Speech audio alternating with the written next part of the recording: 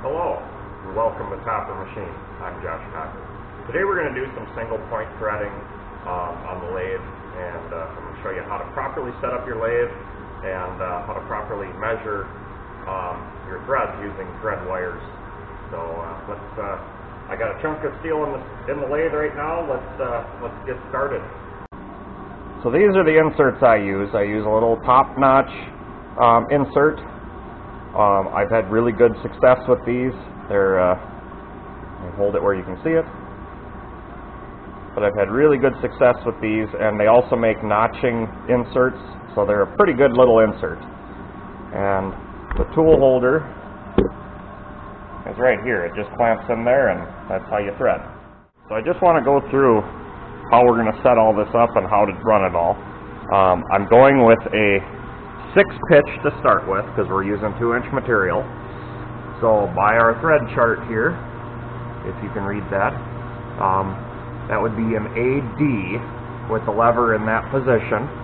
And we're at A here and D up top on this one.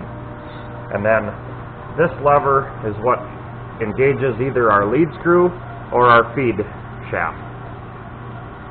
So we're all set up and we're going to run at about we're going to run about 68 RPM on the spindle. It's a 2 inch, 2 inch shaft, so we'll try to keep it slow. And over here is where we engage our, our lead screw on this lever. And then uh, you go by the dial here and you line up with the number as it comes around. And uh, there's a little bit to this. You can actually use that dial for um, you can do a two-start thread with that also, which I will probably do a video on that here soon. I, I did one the other day just to practice it. So your uh, compound is set at 29 and a half degrees. And you start out with your compound backed out and at zero. So you set it at a backed out but at a zero. Let me set this up and show you how we'll touch off. And then we set our cross slide. We touch off and set our cross slide at zero. And then we back that one out each time to take our next cut. So let's go ahead and, and touch it off and take our first pass. And we'll turn in about 50 thousandths on our compound on our first pass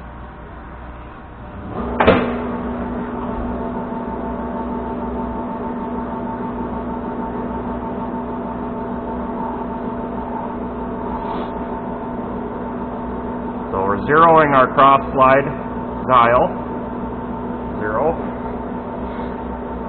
turn it in 50. And I wait for a number to come up to line up. And there's a 4. I'm on 4 right now. So we run our first cut.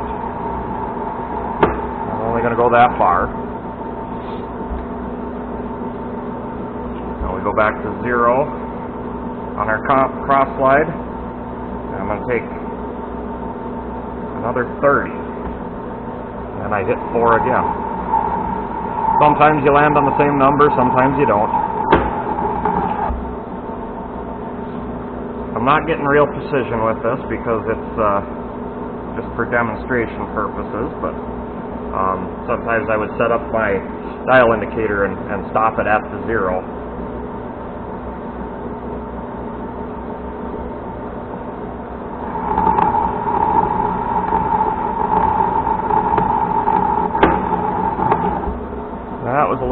heavy cut.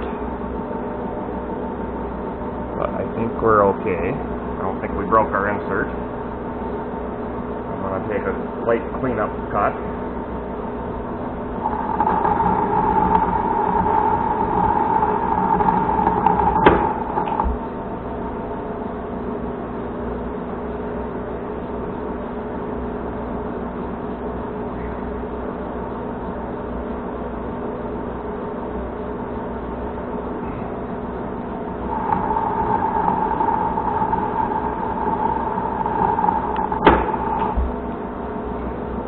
The basic idea of it. Um, I'm going to go ahead and just uh, hurry up, finish this thread up, and then uh, we'll get the thread wires out and uh, show you how to measure threads over wires. Alright, as you can see, I got the thread wires on there already. I took it down a ways, but I didn't. Um, I don't. I'm not all the way. I know I'm not all the way. I just wanted to see where I'm at um, to get an idea how much more we need to go. So if you put one wire on the bottom, two on top, and then you measure over those wires. And right now I'm at 2.060. So you go to your chart because that this is the sixth pitch.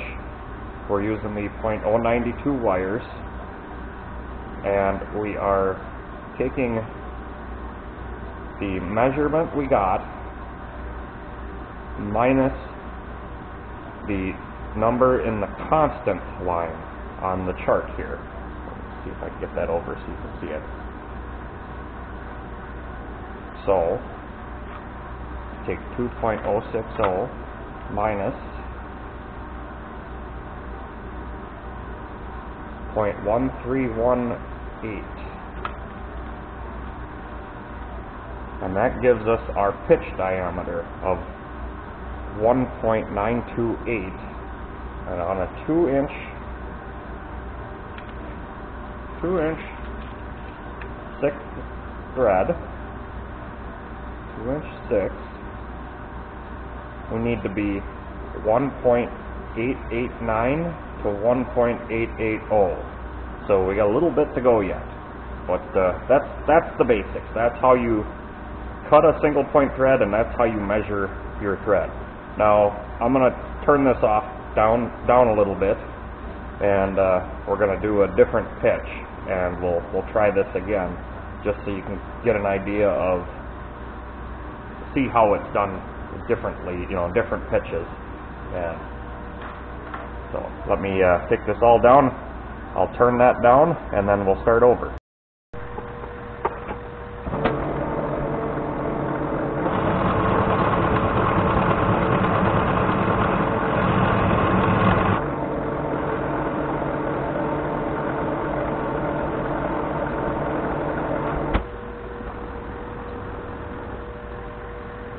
Okay, so I turned it down to an inch and 11 sixteenths, and going by our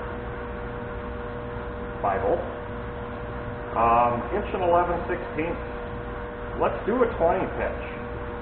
That is a, that's a listed pitch in here, and we can get our numbers, our pitch diameter of 1.648 to 1.653.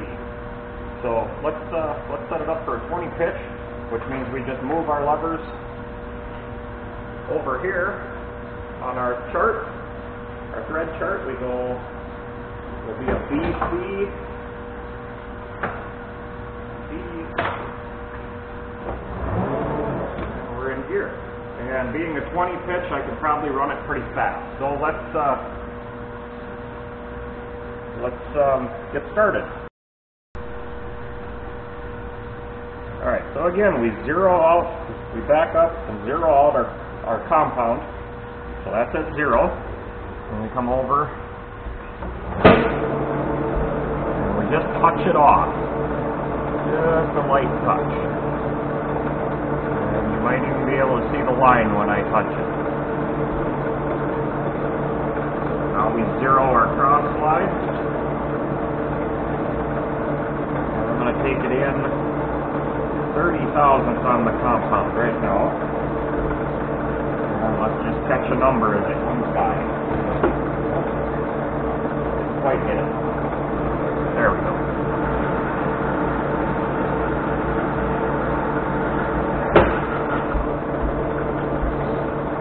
Now this is a really fine thread, so we're going to take and we're going to take just a little more and then check.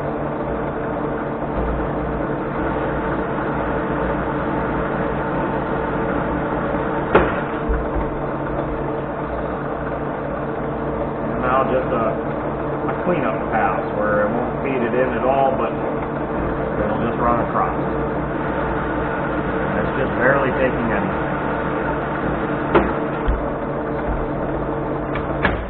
Alright, now I'll go get the uh, thread wires for that size, which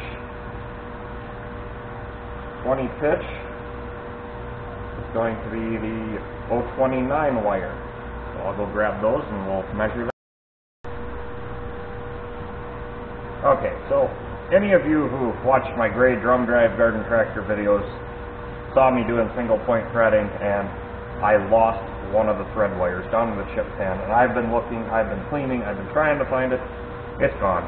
Um, I did buy two sets of these and I would suggest you do the same just to uh, make sure you don't lose it. But this sheet of paper down here is what's going to save you if you do drop one. So make sure you put something down in your in your ways to to catch your wire when you do drop it because you will drop it. This is not an easy thing to get these up here. And uh, I've been doing this a long time and I'm still trying to figure out a good way to do it. So we're uh, eventually might come up with something that'll work good, but till then, I'll just keep struggling and make sure that I have something down in the pan to catch my wires when I drop them. Alright, feels like I got a good engagement on my wires. Yeah, very good. And we are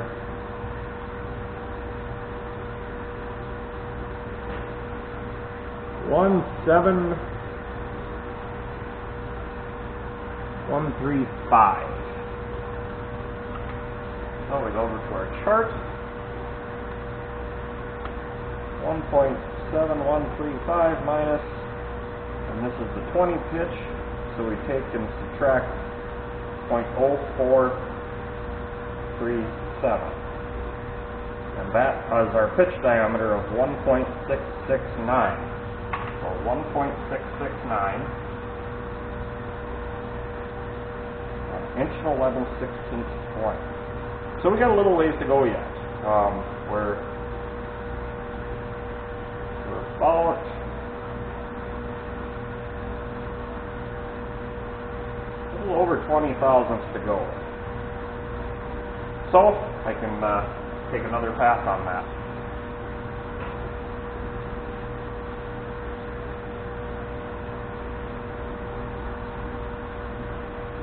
But instead of taking another pass on that, maybe I'll turn this down again and we'll try a super fine pitch just to see how, how that works.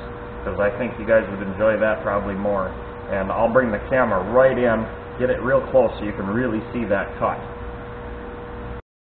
So this one is just for fun. We are set at B, E. I got the spindle at my max of 487 because it's going to be a fine thread. And we are set at, you see that, 92 pitch. So, let's uh, come right up here. I'll get you guys in position. Right down in here if we can. Close as I possibly can, because this is going to be an interesting one.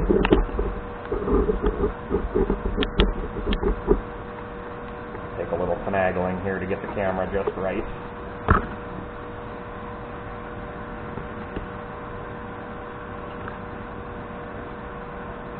And I still don't like your position there.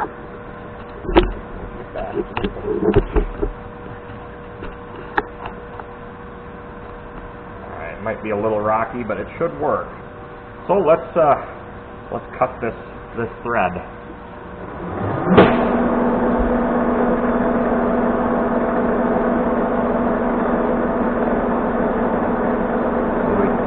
Touch off,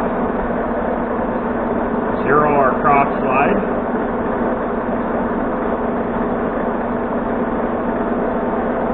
We were zero on our compound. We're going to take ten thousandths on our compound, which I don't know if it's going to be too much or enough, but I've never done this fine of a thread before. So we're going to find out. And I missed my number, so we'll just wait a little bit for it to come around. And here it is.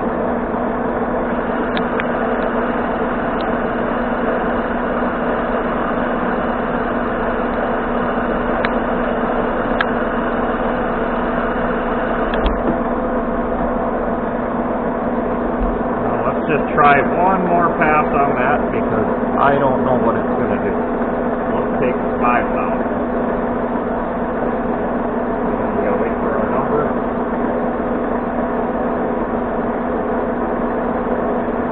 And there it is. That thread's a little more pronounced now.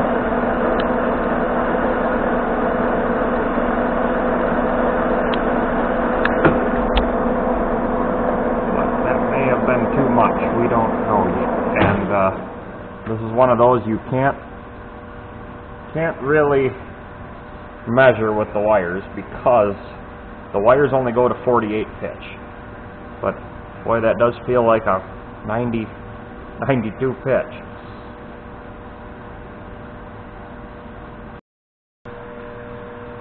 So there you have it. Uh, single point threading on the lathe, measuring over thread wires. Uh, those wires I use are the Pee Dee thread measuring wires. You can get them, uh, quite a few of the tool suppliers have them. They're about 35 bucks for a set. Um, but they're, they're kind of difficult to use. Um, I've been using them for a long time and I still have problems with them. But uh, they work good. You can get a good measurement. Uh, a lot of the threads I do, because it's repair stuff, is uh, matched to what I'm doing, so I don't usually have to use them that often. Um, usually I have nuts or whatever threading into to match it to, or I'm making both pieces, or you know, usually don't have to have to use them, but when you do, they're they're really nice to have. So the Pee Dee thread measuring wires. Now, every lathe will be different. Uh, I've run a few lathes that, that are nothing like these Monarchs. These Monarchs are really, really nice to run. They're really good machines. Um, but I've also run some that were just horrible as far as setting up the threading and the feeds and just just awful machines. But um, so everyone will be different. You'll you know, and you'll get used to what you have. So you know, there's always you you set your your feet by your chart, you watch for your thread dial, you catch a number as it comes by. Just always start on a number. Um, it's just easier, you can go in between the numbers, but that'll give you, um, you can do a two-start thread that way, and I've done that. Um, and I'll do a video on showing how to do that as well. Um, for a two-start and possibly a three-start, four-start, six-start. I'll, sh- I'll show that eventually. That's, that's gonna be one I'm gonna practice a little more before I try to show you guys. So, um, that's basically it. So, like us on Facebook at Topper Machine LLC. Go to our website, www.toppermachine.com, and subscribe to our channel. And stay tuned. Um, so until next time, let's get out in the shop and let's get it done right the first time.